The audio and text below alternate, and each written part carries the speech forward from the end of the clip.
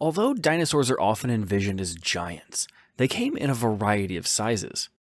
Most of the familiar small dinosaurs are theropods, some of whom survive to the modern day. But there are other types of small and unusual dinosaurs. Among these was the South American ornithischian Manidens condorensis. Manidens had large fangs, and its less showy teeth have helped paleontologists understand the early evolution of herbivory among its relatives. Furthermore, fossils that may belong to either Manidens or closely related dinosaur have traits which suggest it was arboreal, meaning it lived in the trees.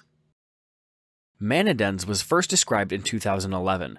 The genus name Manidens means hand teeth, which references how the teeth at the back of its skull vaguely resemble a hand. The species name, Condorensis, is in reference to the Patagonian village of Cerro Condor, where the holotype specimen was found. Another dinosaur, the theropod Condorraptor, is also named after Cerro Condor. It and the fellow carnosaur Piatnitzkysaurus would have been among the top dangers Manidens would have faced. All three of these dinosaurs lived between 179 to 175 million years ago during the Jurassic, Manidens was a member of Heterodontosauridae, a clade of basal ornithischians with similar tusk-like teeth. Manidens belongs to a smaller clade within Heterodontosauridae named Heterodontosaurinae, which includes Heterodontosaurus itself. All other Heterodontosaurians are from South Africa, which at the time was close to its native South America. It was a small biped, with the same overall body shape of the rest of Heterodontosauridae and other unspecialized ornithischians. Even compared to them, it was tiny, with the largest estimates for its length only coming to 75 centimeters. This leaves it tied with fellow heterodontosaurids Fruitadens and Tianyulong for the title of smallest ornithischian dinosaur.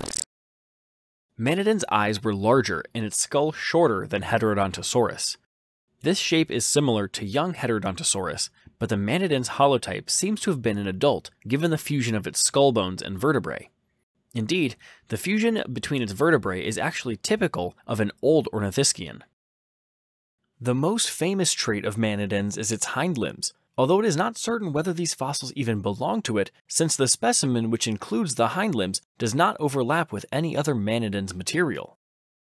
However, the fossils were at least from a heterodontosaurid of equal size and the same time and place as Manidens. Therefore, they will tentatively be assumed to be from Manidens in this video. There are several traits in these fossilized feet which suggest Manidens was arboreal, a tree dweller. The toes are longer than those of other ornithischians and have narrow, curved claws, which resemble those of today's tree dwelling birds.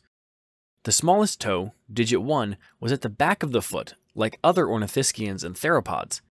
However, it was longer, and while it was still unable to touch the ground, it could have grasped branches with the other elongated toes, much like digit 1 in modern birds. When the feet were placed under a principal component analysis, they were found to be functionally similar to those of modern arboreal birds and some extinct theropods, like Microraptor, who were also suspected to have spent large amounts of time in the trees. However, there was also overlap with ground dwelling birds. Since Manidens was about the same size as a cat, it could easily scurry along branches without fear of breaking them. Finally, even though Manidens' forelimbs, tentative or otherwise, have not yet been found, the arms of other heterodontosaurids were long and had large, curved claws. Assuming it had similar arms, they would have been very effective at climbing trees. Altogether, Manidens seems to have had all the tools needed to be an effective tree dweller. While Manidens' feet may be its most unusual and novel feature, the majority of the research relating to it is focused on its teeth. While most reptiles have one basic type of tooth, heterodontosaurid means different toothed lizard, which is in reference to how Manidens and its relatives had multiple tooth shapes. The most notable heterodontosaurid teeth are the tusk-like teeth at the front of their jaws. The lower jaw of one Maniden specimen has a second pair of smaller teeth, although they are absent in other specimens.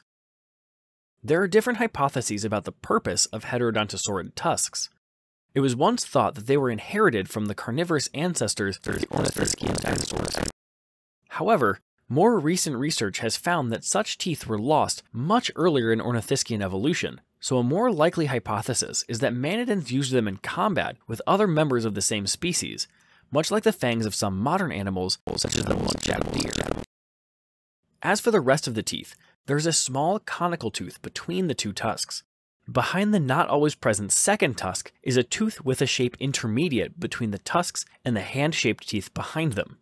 They were used for grinding up plant matter and were positioned so that they could shear against each other twice with each bite. Like most other reptiles, Manidens replaced its teeth throughout its life.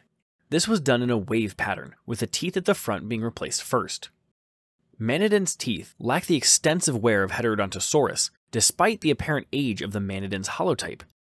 However, like Heterodontosaurus, they have high crowns and are closely packed together in a dental battery.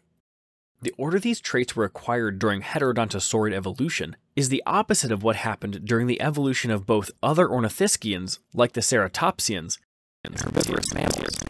They exhibited high tooth wear first, and then evolved higher tooth crowns. Although plants were certainly an important part of Manidens' diet, some other heterodontosaurids, like fruitadens, were omnivores.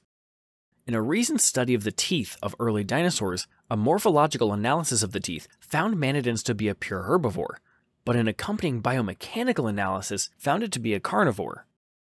The authors of the papers doubted the later result, citing that the software lacked a modern analog for manidens' unique teeth and didn't take into account that they were arranged in a dental battery.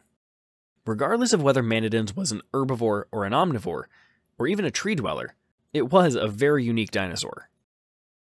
Thank you for watching, and a thank you to the Mattalorian for narrating this video.